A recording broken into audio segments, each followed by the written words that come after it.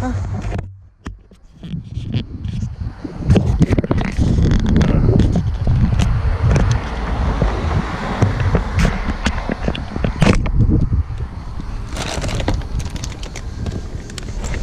lost one or two.